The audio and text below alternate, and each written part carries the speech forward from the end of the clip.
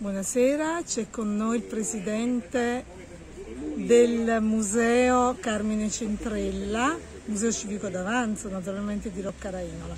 Abbiamo concluso da poco questa stupenda giornata di premiazione eh, dei colori di Roccarainola e volevo sapere un attimino da lei le sue impressioni si vede che abbiamo concluso sì. da poco, eh? siamo sì. abbastanza provati, le impressioni tutte positive, è stata una bella serata, è stato un intero weekend molto bello e molto interessante.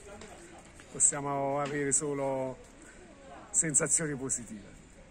Delle premiazioni? Noi abbiamo dato cinque premi, giusto? Sì, abbiamo dato i tre premi normali che vengono dati occasione dei colori di Roccarino e poi due premi speciali intitolati alla memoria di Camillo Capolongo e Vincenzo De Simone. È stata presente anche la moglie di Camillo Capolongo? Sì, è stata ha... presente la famiglia di eh, Camillo Capolongo, non era presente la famiglia di Vincenzo De Simone eh, in quanto non, non, sono più residenti in questa zona e non sono riusciti ad organizzarsi per poterci raggiungere. Ho visto che quest'anno c'era una grande partecipazione di donne artiste.